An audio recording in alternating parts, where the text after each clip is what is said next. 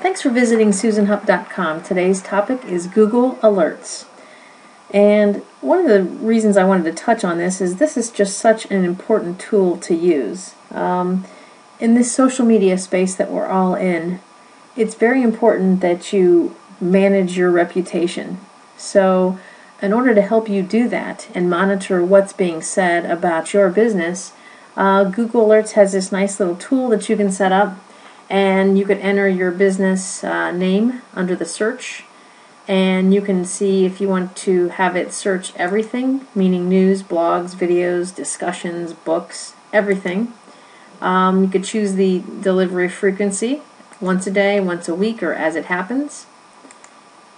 Only the best results are all results, so you can choose all and your email address, and then boom, create the alert. So, creating a Google alert for your business in particular will just help you manage what is being said, positive or negative, about your company, um, so that you can actually manage that reputation. So, if somebody actually slams you, they post it in a blog, you'll know right then when when it happens, and then you can actually address that. So, social networking really is the biggest part of it is listening. Now, there are a couple other things that I like to do with this, and one of those is just using it to, to monitor your industry. So, if you have some competitors in there, you want to set up some competitor uh, alerts, and this just keeps you informed. So, if your competitor is bought out or sold or something, you're going to know about that as soon as it hits the press.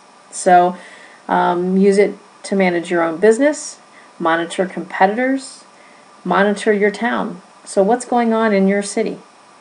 Go ahead and put it in there. If something's being said uh, that's going to make news, that's a chance for you to capitalize that on that. So, monitor that. If you have some companies that you're prospecting and you simply want to be in the know and, and all their latest happenings, maybe they're making some important decisions, they're going public with uh, a new product, if you actually put in there and you monitor those companies that you are prospecting, and just by getting the news on those companies, it kind of helps you stay in the know, and you actually are going to look better in the eyes of a competitor that does not have, uh, that's not in the know, and that's trying to prospect this this company. So, again, there's so many things that you can do with Google Alerts. Um, I definitely uh, recommend setting one up for your business if you don't do anything else that just helps monitor what's being said about your business. Um, just to note that once you do set up the alert, you fill these out, create the alert.